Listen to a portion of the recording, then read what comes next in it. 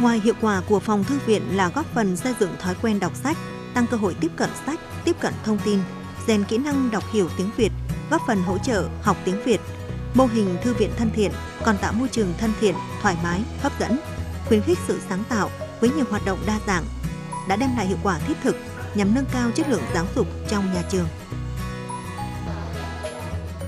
Từ khi có thư viện ngoài trời, thư viện đa năng thì con luôn đi học sớm hơn một chút để đi học và đọc sách. Ngày xưa thì chiều về con đi đá banh và con coi phim trên máy tính. Bây giờ thì con mượn sách về con đọc, con bớt chơi điện tử lại. Con thấy đọc sách rất là hay. Xác định được tầm quan trọng của mô hình này nên từ đầu năm học 2017-2018, Phòng Giáo dục và Đào tạo Chư Prong đã nghiêm túc triển khai việc nhân rộng mô hình thư viện thân thiện đối với tất cả các trường tiểu học trên địa bàn. Đến nay, 21 trên 21 trường tiểu học và hai trường trung học cơ sở có cấp tiểu học ở huyện Chư Prong đã thiết lập một phòng thư viện, có nơi đọc sách đáp ứng yêu cầu tối thiểu để triển khai các hoạt động của thư viện dần thay thế cho việc thư viện chỉ là kho đựng sách, thiết bị như trước đây. Nhiều trường đã xây dựng thư viện đa năng, tạo các góc trong thư viện đa năng. Góc đọc, góc viết, góc mỹ thuật, góc văn hóa địa phương, góc nghệ thuật, góc vui chơi. Bước đầu vận hành có hiệu quả các góc trong thư viện đa năng, thu hút số lượng lớp học sinh tìm đến thư viện để tham gia các hoạt động. Hầu hết các điểm trường làng đã có một thư viện lưu động. Các lớp đều trang bị thư viện góc lớp trang trí lớp học. Nhiều đơn vị đã xây dựng thư viện cầu thang, thư viện hành lang, trang trí đẹp mắt, thu hút người đọc, nhiều sách truyện thoáng mát. Xây dựng cái mô hình thư viện thân thiện thì à, huyện của chúng tôi là được à, à, dự án plan của tỉnh tổ chức tập huấn triển khai hướng dẫn cũng nói chung là cũng hết sức là là là là là, là cụ thể. Về phía ngành giáo dục á, thì chúng tôi thấy là cái việc này nó cũng thiết thực trong cái việc nâng cao cái chất lượng à, văn hóa đọc ở trong nhà trường cũng như là chất lượng giáo dục ở trong nhà trường. Nên chúng tôi cũng có những cái quyết liệt triển khai. Và tất cả các trường á, 23 trường tiểu học và trung học cơ sở có tiểu học ở trên địa bàn huyện thì à, cũng đã triển khai. Nói chung là cũng có những cái thay đổi có chuyển biến à, trong cái hoạt động thư viện so với trước đây. Và cái điều kiện tiên quyết mà để triển khai cho nó tốt cái này cái thứ nhất là phải chuyển biến đội ngũ cán bộ quản lý giáo viên và nhân viên ở trong nhà trường. Đó. chuyển biến cái nhận thức để xem đây là một cái mô hình để tăng cái cái cái cái cái, cái chất lượng giáo dục à, ở trong nhà trường. Đồng thời á, là nó có cái sự đoàn kết sự hỗ trợ cho nhân viên thư viện trong cái việc là xây dựng các cái cái, cái loại hình thư viện ở trong nhà trường. Cái điều kiện thứ hai á, là nhà trường phải tìm được nguồn đó phải tự tự vận động đó rồi huy động các cái nguồn lực để rồi trang trí rồi bổ sung sách rồi tạo dựng thêm cái cơ sở vật chất. Thì tôi thấy rằng là cái việc đó các nhà trường ở đây làm rất tốt đây là những kết quả khả quan của ngành giáo dục và đào tạo Chư Prong được báo cáo tại hội thảo nhân rộng mô hình thư viện thân thiện được tổ chức vào ngày 12 tháng 4 năm 2018 vừa qua.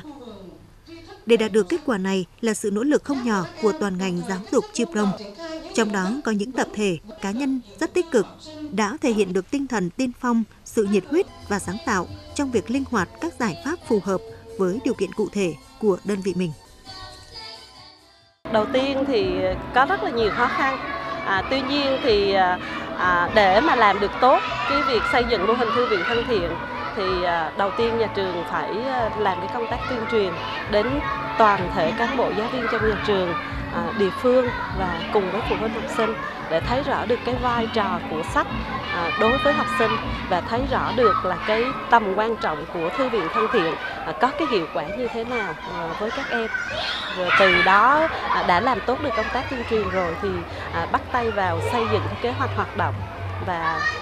À, đặc biệt là được cái sự hỗ trợ của cái tinh thần nhiệt tình của tất cả các bộ giáo viên trong nhà trường, cũng như cái sự hỗ trợ nhiệt tình của phụ huynh học sinh. Sau khi mà được tập huấn về cái ờ, thư viện thân thiện, thì đầu tiên là về, đối với thủ thư là phải phân loại sách, phân loại thể loại và dán gáy sách để theo từng màu à, để cho học sinh dễ nhận biết sách hơn chỉ cái nhìn màu là chọn được sách à, thì à, à, huy động cái lực lượng là giáo viên cùng với thủ thư cùng với học sinh à, dán cái sách rồi trang trí thư viện à, tạo ra các cái góc thư viện à, như là ở trong thư viện đa năng thì có góc đọc góc viết rồi góc nghệ thuật rồi góc vui chơi cho các em. À, để mà thu hút các em đến thì phải có một cái môi trường à, đẹp à, rồi là là dễ thương để các em thích đến với thư viện thì huy động tại nhà trường thì có hai cô giáo viên dạy mỹ thuật. À, huy động các cô là vẽ trang trí. À, cùng với cái sự góp ý trao đổi chia sẻ của tất cả các chị em trong nhà trường à, để tạo nên được một cái không gian à, hài hòa và phù hợp với cái việc sinh hoạt của các em. Hội thảo đã nhận được rất nhiều ý kiến tham gia thảo luận xung quanh vấn đề làm thế nào để phát huy được vai trò của thư viện thân thiện trong nhà trường và làm sao để áp dụng thành công mô hình này với từng trường hợp cụ thể. Điều đó cho thấy sự quyết tâm và cả chăn trở của đội ngũ cán bộ quản lý trước những giải pháp góp phần nâng cao chất lượng giáo dục của địa phương. Nói chung là hiệu trưởng các nhà trường á, người ta rất là ủng hộ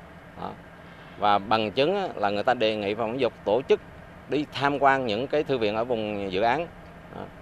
à, nhiều lần Ờ, chúng tôi đã tổ chức trong tháng 9 một lần đi đến cái vùng dự án là cái thị xã An Khê để tham quan. À, rồi vừa rồi đây thì có tổ chức là đi đến cái trường tiểu học D3 của huyện Cờ Bang để tổ chức tham quan. À. tôi thấy là có sự nhiệt tình quyết tâm của hiệu trưởng như vậy và cái này cái thư viện ở trong nhà trường á, thì nó không phải như các cái phong trào khác mà nó là hoạt động xảy ra hàng ngày. Đó, hàng giờ và cái sự quan tâm chỉ đạo đôn đốc của phòng giáo dục. Thì tôi nghĩ rằng là cái cái xây dựng thư viện thân thiện trong nhà trường không thể đầu vào đuôi chuột được. Và cái mô hình này á, thì năm nay á, thì phòng giáo dục chỉ triển khai ờ, quyết liệt ở cấp tiểu học. Và cái mô hình này năm sau năm học sau thì chúng tôi sẽ có kế hoạch à, và triển khai ở cấp trung học cơ sở. Tôi nghĩ rằng là à, chắc là nó cũng đạt hiệu quả như là ở cấp tiểu học. Hội thảo được chọn tổ chức tại trường tiểu học Lê Hồng Phong, xã Bào Cạn, đơn vị được chọn làm điểm trong công tác xây dựng mô hình thư viện thân thiện. Những hình ảnh mắt thấy tai nghe, ngoài những thông tin báo cáo tại hội nghị, thực sự ấn tượng với những đại biểu được mời tham gia. Hưởng ứng Ngày hội đọc sách ngày 21 tháng 4, trường tiểu học Lê Hồng Phong đã tổ chức Ngày hội đọc sách với chủ đề Đọc sách là cách học tốt nhất. Đây là hoạt động thường niên của đơn vị, song qua từng năm lại có nhiều đổi mới trong cách thức tổ chức. Dù cùng chung mục tiêu giúp các em thấy gần hơn với sách, yêu quý sách, thích đọc sách hơn, nhưng sự sáng tạo trong hình thức thể hiện chắc chắn mang lại hiệu quả tích cực hơn. Sáng hôm nay, trường em có tổ chức ngày hội sách trong đó em được coi rất nhiều tiết mục hay. Em nhưng em vẫn rất thích nhất là tiết mục kịch của các bạn. Qua đó em học được rất nhiều điều từ vở kịch đó. Em hứa em sẽ học tập thật tốt, chăm chỉ rèn luyện phấn đấu để trở thành công an trò giỏi của trường và của xã hội. Không chỉ các tiết mục văn nghệ được lấy cảm hứng từ những câu chuyện trong sách do các em học sinh biểu diễn, hay các huy động sự đóng góp tự nguyện của các em học sinh để làm giàu thêm các thư viện của nhà trường.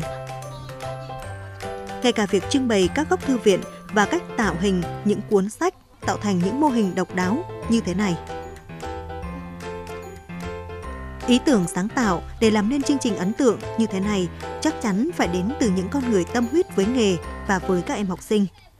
Và một khi niềm đam mê với sách đã được khơi nguồn, tin chắc mục tiêu rèn luyện thói quen đọc sách cho các em học sinh, góp phần xây dựng văn hóa đọc cho những công dân tương lai của nhà trường sẽ gặt hái được những kết quả khả quan. Hiện nay thì à, về ừ,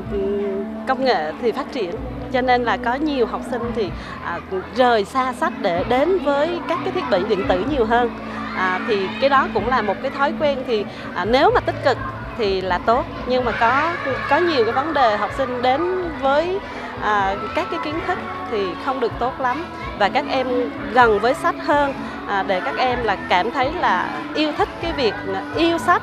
rồi tiếp cận sách để tất cả những cái điều đó là các em cảm thấy được thoải mái nhẹ nhàng hơn trong cái vấn đề học tập. Riêng cái hội sách mỗi năm về cái ngày hội sách thì nhà trường đều tổ chức các cái hoạt động à, để kỷ niệm cái ngày hội sách à, nhằm tuyên truyền cho học sinh về cái à, cái vai trò vị trí của sách và à, từ đó tạo cho các em là có cái ờ, thói quen đọc sách à, gần với sách nhiều hơn. À, riêng năm học này, nhà trường à, tổ chức ngày hội sách năm nay là chú trọng tới à, thứ nhất là để đánh giá cái hiệu quả về việc thực hiện à, à thư viện thân thiện của nhà trường mà bắt đầu thực hiện từ đầu năm học à, 2017-2018 này. Xứng đáng là đơn vị được chọn để xây dựng điểm mô hình thư viện thân thiện, trường tiểu học Lê Hồng Phong đến nay đã phát triển mô hình thư viện thân thiện với đa dạng các loại hình từ thư viện xanh đến thư viện cầu thang, thư viện góc lớp và thư viện đa năng. Đặc biệt, kết quả mang lại từ việc hoàn thiện mô hình này đã góp phần nâng cao chất lượng dạy và học ở tất cả các khối lớp nhờ sự linh hoạt của các giáo viên trong việc tích hợp trong giảng dạy. Thư viện à, góc lớp ừ, hỗ trợ rất đắc lực cho giáo viên trong việc giảng dạy. À, ví dụ như là trong môn tiếng Việt thì à, ngoài những bài tập tham khảo ở góc tham khảo ra thì học sinh có thể là sử dụng từ điển để giải nghĩa những từ mà mình chưa hiểu, mình còn thắc mắc. À, còn à, với góc truyện và thơ thì à, giúp cho giáo viên là à, bồi dưỡng thêm về cái à, cái cái cái tình yêu à, đối với tiếng Việt cho học sinh. À, bên cạnh đó thì à, trong cái góc đó thì nó cũng hỗ trợ đắc lực cho giáo viên về cái việc là à, ví dụ như là à, phụ đạo cho học sinh yếu. À, đối với những em mà học sinh mà đọc mà còn hạn chế với những khó khăn đặc thù của một huyện biên giới với trên 50% học sinh dân tộc thiểu số lại là huyện ngoài vùng dự án nên không được thụ hưởng những đầu tư hỗ trợ ban đầu về kinh phí và thiết bị. Song với nỗ lực của toàn ngành trong việc phát huy nội lực và tận dụng các nguồn lực xã hội hóa, huyện Chư Prong bước đầu đã đạt những kết quả quan trọng trong nhiệm vụ xây dựng mô hình thư viện thân thiện ở cấp tiểu học. Đây là tiền đề quan trọng để ngành giáo dục đào tạo Chư Prong tiếp tục triển khai nhân rộng mô hình này ở cấp trung học cơ sở trong thời gian tới.